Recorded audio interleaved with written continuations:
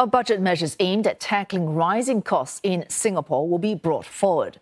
That's as global inflation is expected to be higher and longer lasting due to the war in Ukraine. Finance Minister Lawrence Wong says the government is ready to provide more support if the situation worsens. Heidi Ng reports. Things are getting more expensive in Singapore, whether it's petrol or fresh produce or raw materials.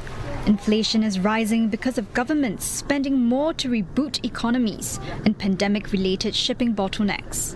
At the start of 2022, there were some initial hopes that global inflationary pressures would ease over the course of the year as the supply situation improved.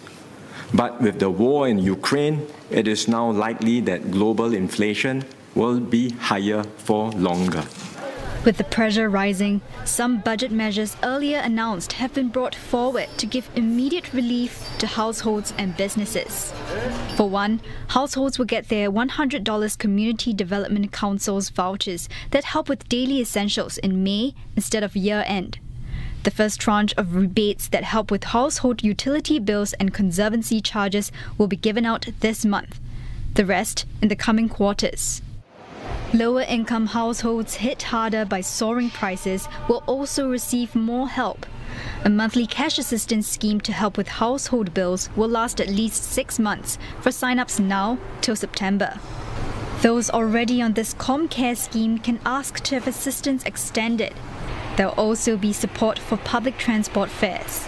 We had earlier disbursed public transport vouchers or PTVs to every household that received a P- PTV in the last exercise, and that included that includes over 30,000 ComCare beneficiaries.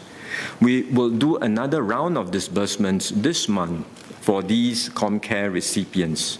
So they will receive $60 of PTVs, which will roughly cover the additional fares paid by a family of four this year, arising from the fare increase last December.